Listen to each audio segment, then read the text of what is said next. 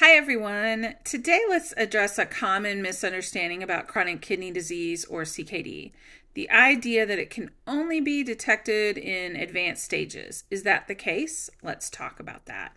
CKD is a condition where the kidneys gradually lose their function. And there's this myth that CKD can't be diagnosed early, that it's only detectable when it's quite advanced. But that's not entirely true. The fact is, early stage CKD can indeed be diagnosed, often through your re- routine blood tests and urine tests.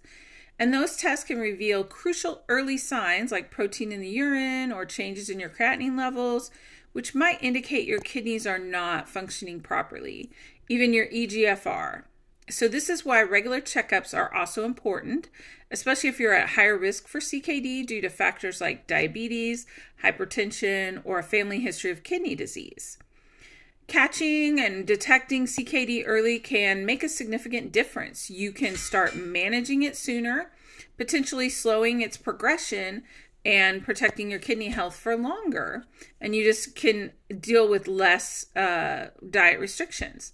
So let's debunk this myth. CKD can and should be caught early. So if you have any questions or experiences with early CKD detection, feel free to share it in the comments below. And early awareness is key to better health for you and everyone.